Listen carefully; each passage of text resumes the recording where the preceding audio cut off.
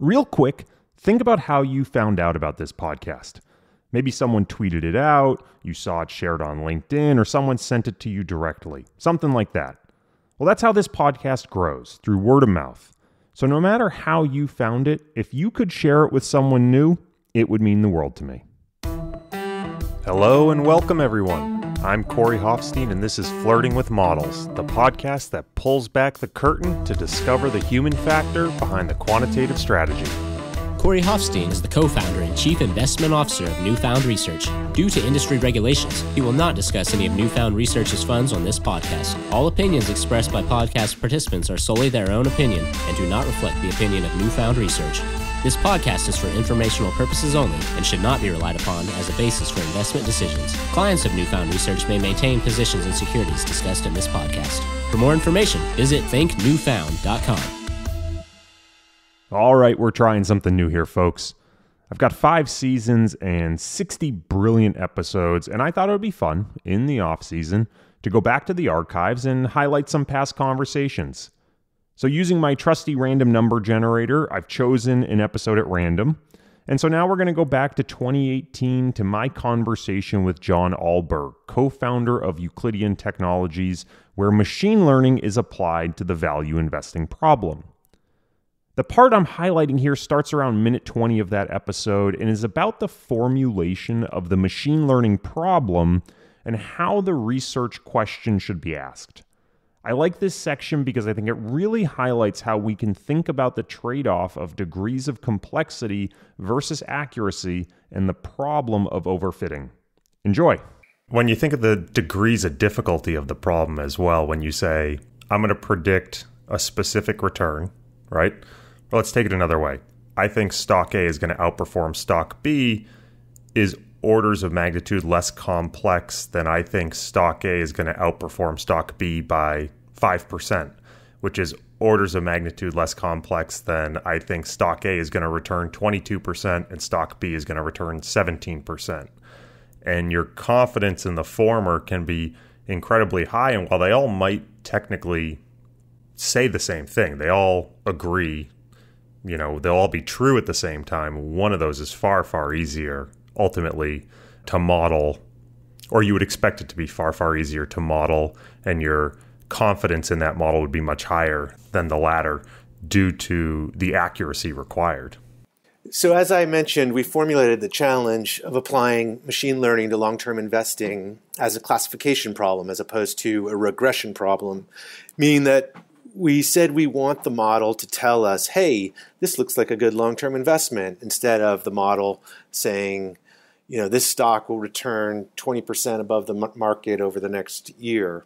And the reason we took this approach is for the same reasons that you're mentioning, that it just seems like a more tractable problem.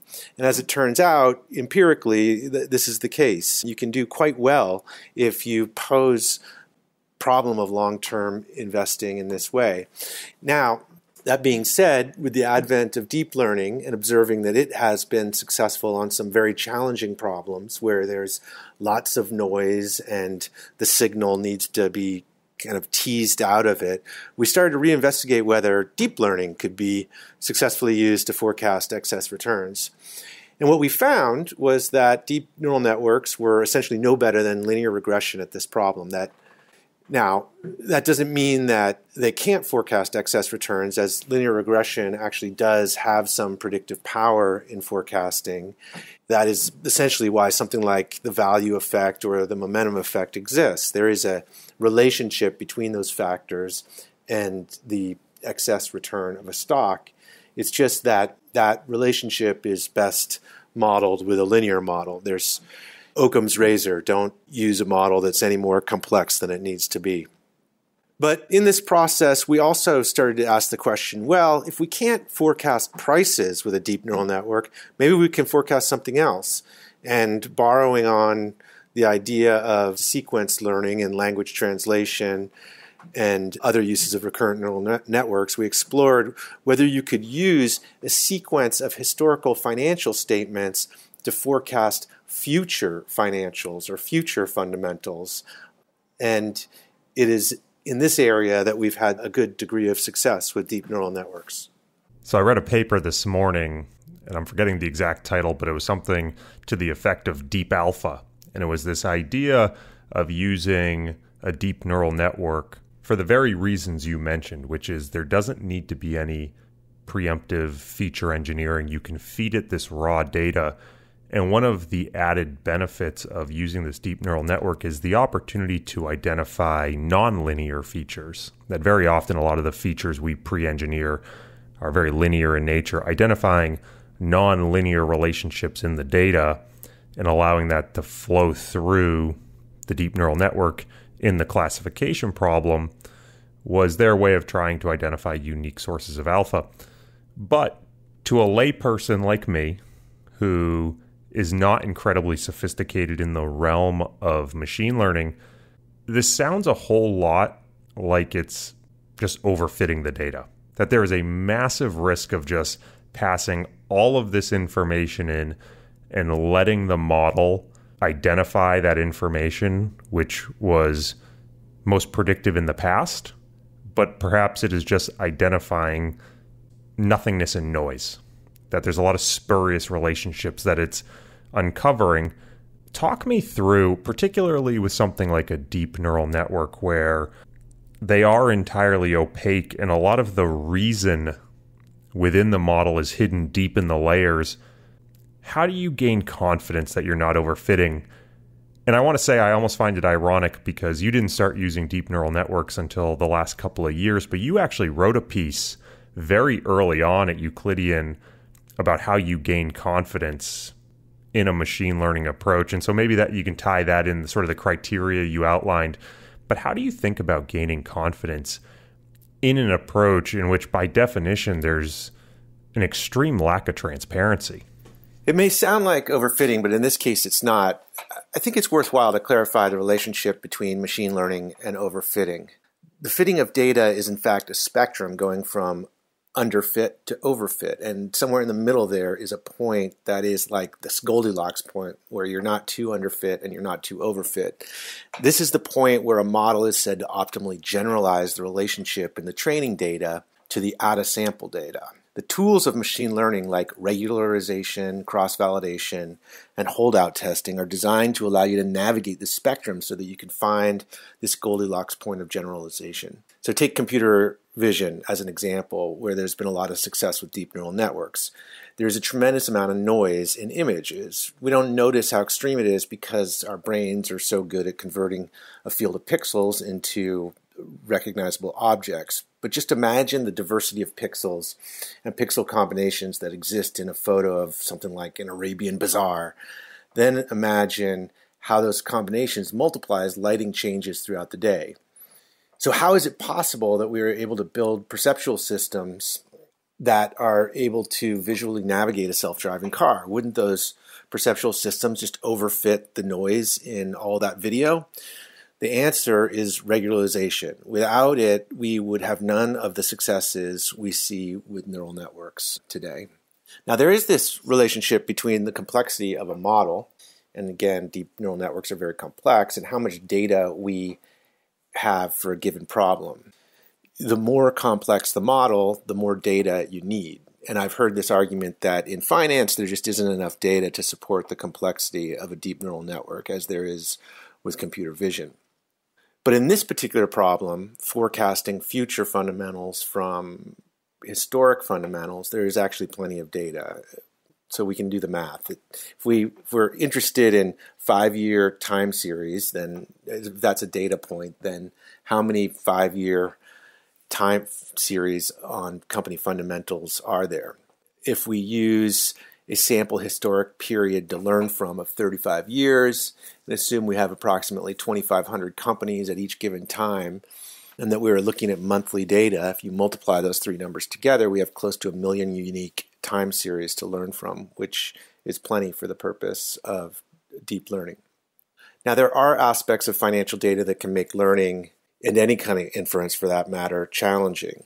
So, like any problem, we have this issue when learning of trying to infer a distribution from only a sample of data. And we're successful if we're able to infer that relationship from the data on out of sample data.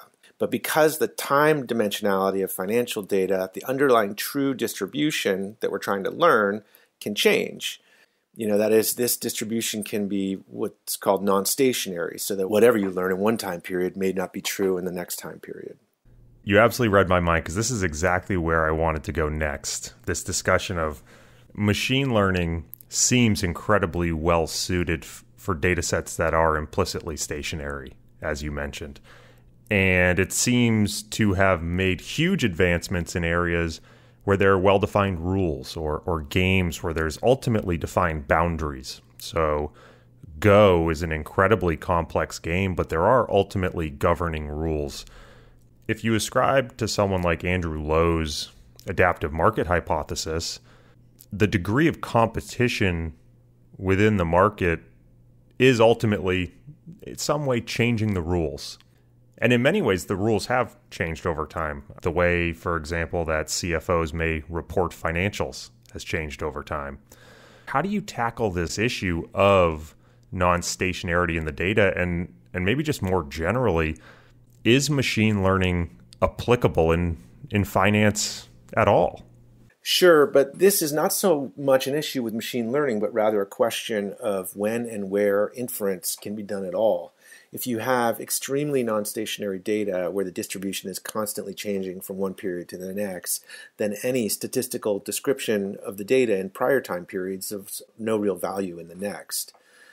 Now, there are tools that can be employed if you have non-stationary data that is slowly changing through time and that is to iteratively build models, be it a linear regression or a neural network, that use data from a fixed trailing window of time to forecast into the current or next time period.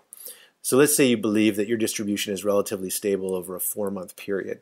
Then, if you want to make forecasts for April, you build a model on data from January through March and use that model to make your April forecasts. And then you repeat this process for forecasts in May by building a model on data from the period February through April. And you can see how you can just iterate this approach out on forever. We do a form of, of this at Euclidean when we're forecasting fundamentals, but our time window is closer to 20 years than four months. And this gets to the point of why at Euclidean we focus on long term value investing or fundamental investing because it's a more stationary problem than other types of investing. I mean, it's pretty well understood that the value of an asset is its future cash flows discounted to present value. And that's true, was true in 1925. It was also true in 2007. It's true in 2018, and it will be true in 2050. Therefore, if we can forecast cash flows in the into the future with any degree of accuracy, you should have an investment approach that would work well over the, the long run. Whatever forecasting model is that is, it should be valuable regardless of what decade it's being used in. So one of the things we've touched upon here, one of the, the benefits potentially of a deep neural network is that you don't have to pre-engineer your factors. But in many ways, it strikes me that what makes someone a quant value investor is that pre engineering in a certain way, that the factors that they are, by definition, looking at have to do with valuation. So they might be looking at price to book, they might be looking at enterprise value to EBITDA. It strikes me that when you just provide all the raw input to the deep neural network, maybe it's how you ask the question of the deep neural network that ultimately makes you a value investor. So I guess the question I would pose to you is if, if you're passing in all this raw data, what is it necessarily that connects you to the history of value investing that that would make you say that you're applying machine learning to value investing? Well, what we really are is long term fundamental investors, meaning that at any point in time, all I want to know is all of the publicly available information about a company that can be found in its historical financials or other documents that are filed with the SEC or published online. And all I want to assess is whether this company is going to be a good long term investment or not. Now, the reality is that when you train any kind of model with that setup, it'll inevitably come up with a model that is characteristically value in nature. And that is just because of the strength of the value effect in the data. It's embedded in the combination of base economic principles of mean reversion and human behavioral biases, which create the effect, and therefore it's existed for a very, very long time and will continue to exist. Now, with a value model, there is, of course, value investments, good value investments, and there are also value traps. And I think that is where machine learning really shows its power and its ability to use nonlinearity to discriminate within the universe of value between companies that are true value opportunities and those companies that are just deservedly cheap. I hope you enjoyed this dive into the archives. If you did, leave us a rating or review and share with a friend. It helps us grow and it means the world. Thanks for listening.